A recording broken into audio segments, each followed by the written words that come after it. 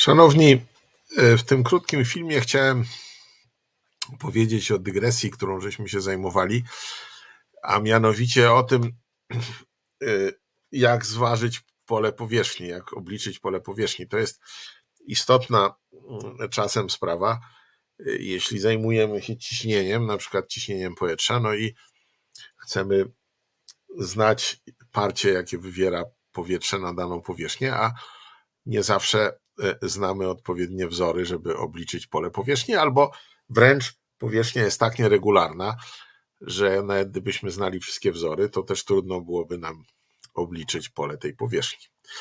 No i e, bawiliśmy się dzisiaj w taki sposób, że mieliśmy różne, e, mieliśmy szablony do, do rysowania, albo można było sobie narysować samemu e, jakąś fantasy, fantazyjną figurę, E, no, w każdym razie rysowaliśmy je na kartce papieru milimetrowego.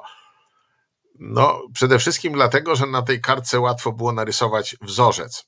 Tu w tym wypadku ten wzorzec to jest kwadrat 4 na 4 ma 16 cm kwadratowych. No i po tym jak e, wycięliśmy ten wzorzec, e, mogliśmy zmierzyć masę jednego centymetra kwadratowego kartki e, e, tego papieru. No, oczywiście jest w tym ukryte założenie, że gęstość tego papieru jest taka sama wszędzie. Pewnie nie jest dokładnie taka sama, ale z dokładnością, którą nas interesuje, szacowanie e, pola powierzchni, możemy przyjąć, że to jest taka sama gęstość. No i cała sztuka opiera się na spostrzeżeniu, że masa wyciętego z kartki wyciętej z kartki figury jest proporcjonalna do pola powierzchni tej figury. Kartka jest cienka, płaska, więc jakby waży pole powierzchni, czy masę ma pole powierzchni. To można zapisać jako relację proporcjonalności.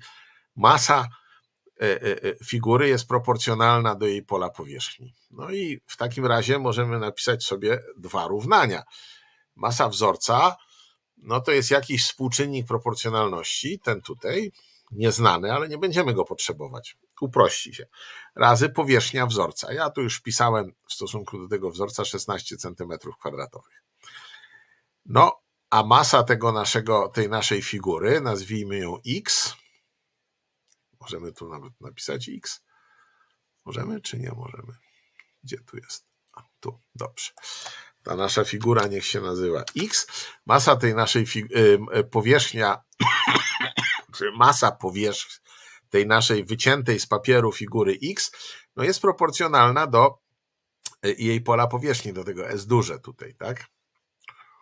Nieznanego, które chcemy wyznaczyć. No to e, jak mamy dwie takie równości, no, no możemy napisać proporcje. No bo e, masa wzorca tak się ma do masy x, jak pole powierzchni wzorca do pola powierzchni x. Konkretnie jest tutaj jeszcze ten współczynnik proporcjonalności, no ale jak widzicie, on się uprości.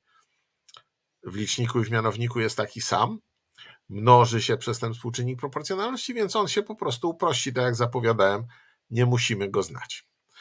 No i y, y, y, zostaje taka, zostaje taka proporcja, w której tego k nie ma, no i tą proporcję można rozwiązać, to znaczy jak każdą proporcję przemnożyć na krzyż, i będzie masa wzorca razy to nieznane pole powierzchni, równa się masa wyciętej figury. Oczywiście tutaj ta metoda zależy też od dokładności, z jaką potrafimy wycinać. Razy 16 cm kwadratowych, czyli powierzchnia wzorca. No a stąd już można łatwo wyznaczyć S, trzeba obie strony podzielić przez masę wzorca i tam odpowiednio troszeczkę przekształcić Mnożenie jest przemienne, więc 16 cm2 można e, napisać z przodu, a z tyłu będzie stosunek masy tej e, wyciętej figury do masy wzorca.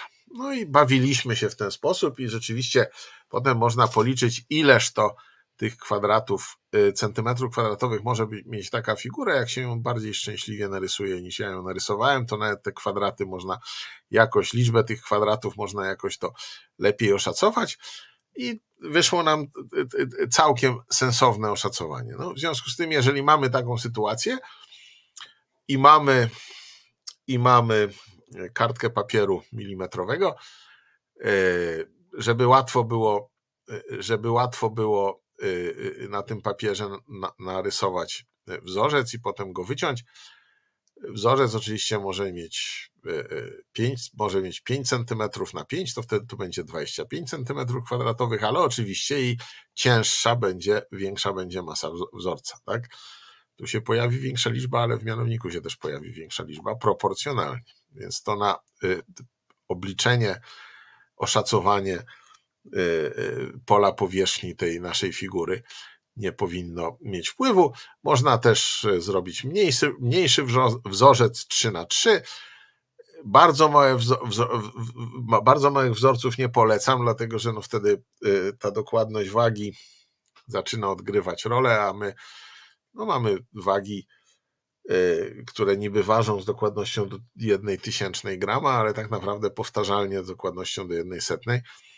W związku z tym, jeżeli zbyt mała będzie masa wzorca, y, to ta waga po prostu nie będzie ważyć dokładnie.